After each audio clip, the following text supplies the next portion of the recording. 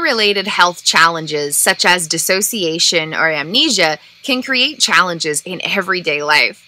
Things that would seem like not a big deal hold a lot of big deals when struggling with any form of dissociation or amnesia. The most powerful and profound aspect of these challenges, though, is that all of the data is still there inside of our brains. Because it's struggling to connect, however, it will not feel accessible. So, for example, while living with amnesia or dissociation, you might read something and then at the end of it, you won't remember what you just read. And you're like, was that even worth it? Was that, like, did that even serve a purpose? Like, did it do anything? Yes, it did. Even though you cannot directly get to that information, it is being stored inside of your brain, which means that some aspect of your consciousness has access to it. You might just not have the ability to directly get there when you want to. As I continue to heal and create this miraculous known documentary series, I keep discovering new magics. Check this out. I have hundreds, if not thousands, of recordings on my phone and my laptop, both audio and video. During the years I could not create conscious explicit memories, there was a whole bunch of recordings, so the Kristin I was could come back and see what she had been up to. On December 27, 2019, Kristin recorded some audio files discussing the inner child, inner child explorations. Everybody has an inner child. Who is our inner child? On June 9th, 2021, while recording more pieces of my known documentary series, especially for my 25th thesis statement, this came out.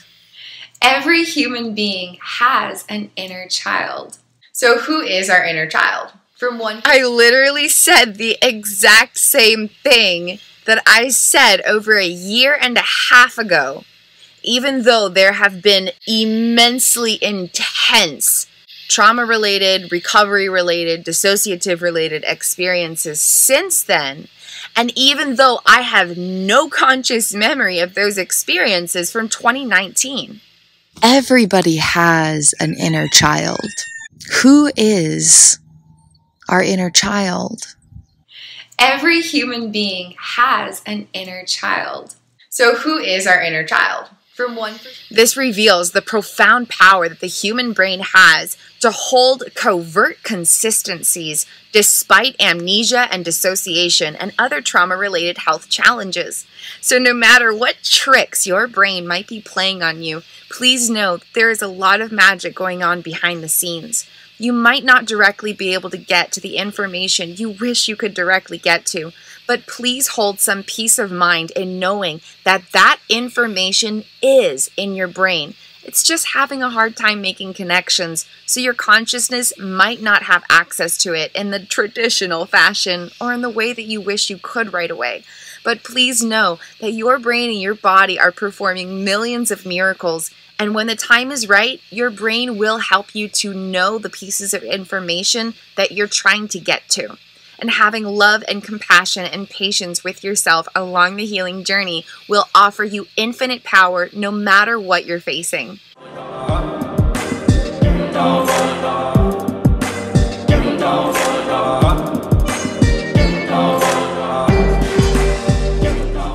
Sending you, warriors, lots of love and light along your everyday healing journey through life. Blessings, and please do feel free to explore the rest of my known documentary series. Here's the rest of that recording from December 27th, 2019. I don't remember it, but it's fun to explore what Kristin had to say back then. Everybody has an inner child. Who is our inner child? How do they shape or develop or formulate? And how does our inner, chi- inner child um, impact us through our unfolding life moments? Our inner child carries the experiences during er, the years of early childhood development, which begin as we are born. There's the moments in the womb and the moment that we're first born and first being held, and every single unfolding moment that follows. Every single moment is stored in the body through unconscious procedural memories, housed especially in the brainstem. And I think maybe the thalamus.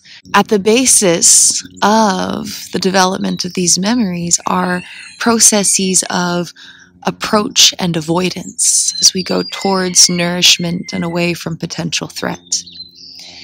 It is these implicit procedural memories that are the core of our consciousness where our inner child lives. The process of early childhood development and the formation of these implicit procedural memories occurs through attachment development, which is the style in which caregivers nurture young children, especially focusing on right brain communication and then integrated brain communication through the language of love, referring to the acronym of love that we have created.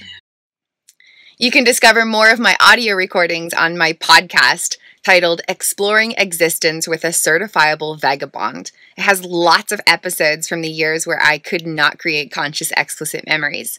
And they're pretty fun stuff, so please do feel free to check it out.